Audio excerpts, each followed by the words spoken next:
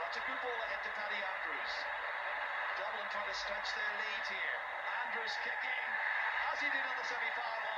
First opportunity he's got really.